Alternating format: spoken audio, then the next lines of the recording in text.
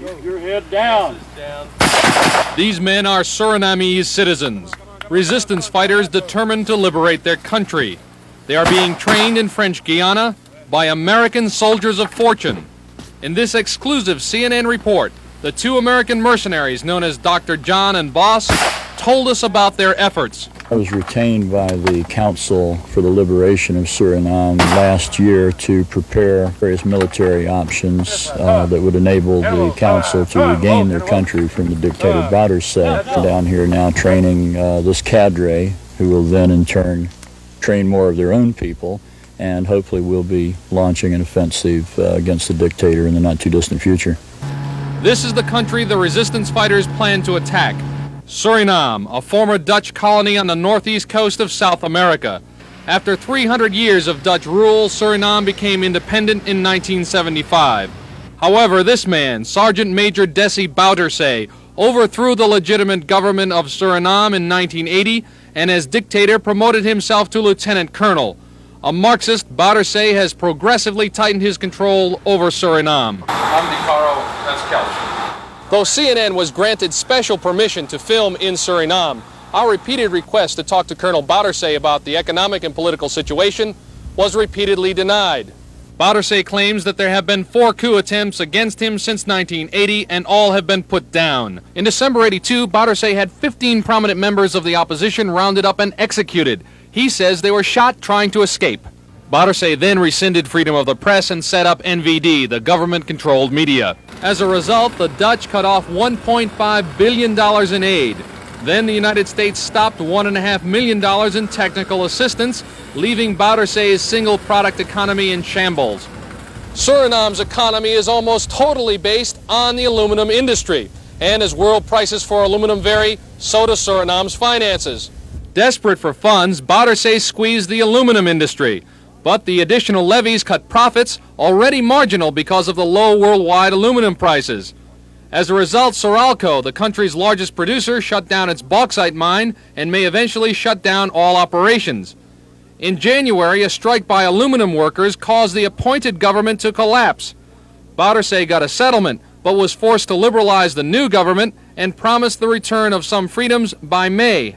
Although Suriname's Prime Minister Udenhout recently returned from Washington with apparently positive results, Colonel Bouterse is caught in a squeeze play. Without assistance from Holland or the United States, Suriname will run out of money in about 18 months. To get assistance, Bouterse must return Suriname to a more democratic system. However, at this moment, Bouterse keeps the country locked down tight. This reporter and cameraman Ken Kelsch had to keep a low profile about our intentions as we were repeatedly searched at roadblocks. Rather than be searched again with politically sensitive videotapes, we had to travel by canoe across the mile-wide piranha-infested Maroni River into French Guiana. As a result of Colonel Bouterse's repressive regime, many thousands of Surinamese left the country. Many of them fled here to French Guiana, where they have formed resistance movements. CNN made contact with one group, the Liberation Council of Suriname, and was granted permission to film its American mercenaries training the resistance fighters at a secret camp inside French Guiana. The leader of the resistance fighters is Roy Bottse, a former lieutenant in the Surinamese army. We intend to take the country back by hard military actions. We are here with uh, a number of men, very well selected, hard trained, and uh, we will hit hard in especially places where we know that the enemy is uh, established.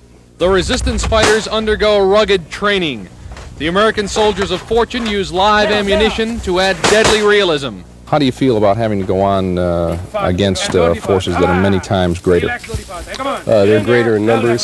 They have more equipment than us. I believe a good majority of them will run when faced with a disciplined, small unit. Tell us about your military experiences. I'm a veteran of the 82nd Airborne Division, also the United States Marine Corps, uh, service in Asia. Uh, I've fought with the Democratic forces uh, fighting the Sandinistas in Nicaragua, both for Commander Zero and later for a group known as M3. My military experience was with the 101st Airborne Division, Long Range Recon, uh, unconventional warfare, uh, Republic of Vietnam.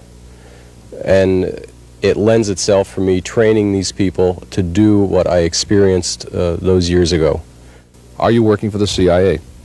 No, I'm not. John, uh, how about you? Are you working for the Central Intelligence Agency? No, I'm not, Chuck. I clear every operation uh, with the United States government. I do not work for the United States government, but I never work against it. It's sort of a, a courtesy uh, move on your part. Exactly. One final question. What happens if you fail? What happens if you're caught by Bouterse and his forces? I don't plan to live forever, Chuck. How about you? That would be an occupational hazard which we accept. The American mercenaries have trained the guerrillas in a number of skills, ranging from the maintenance and care of their American-made AR-15 and Mini-14 rifles to effective use of camouflage in the jungle. During tactical training, half the guerrillas set up an ambush. The others on patrol are taught to disperse quickly when attacked and counterattack from behind. Again, the American mercenaries use live ammunition to add realism and to harden their troops. Minor wounds from such training are not uncommon.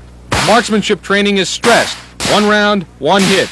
French authorities allowed the resistance fighters to train but watched them closely.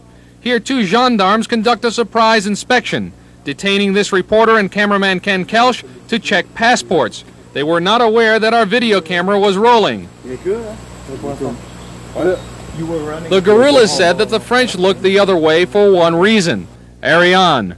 The missile launched from French Guiana is a multi billion dollar gamble by France and other European nations to tap the booming commercial space market.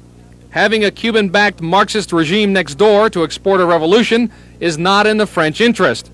The French did warn that the political situation was shaky and that once the guerrillas struck targets in eastern Suriname, they could not return. The day after CNN was detained by the gendarmes, the French, apparently worried about an international incident, deported the resistance fighters to the Dutch island of Curacao. One of the American mercenaries has told CNN that the resistance fighters will simply regroup and attack Suriname soon. The stage is now set for a counter-revolution in Suriname.